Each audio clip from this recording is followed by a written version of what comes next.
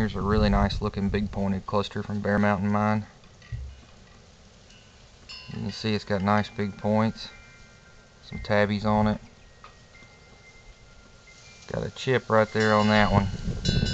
Other than that, it's fantastic.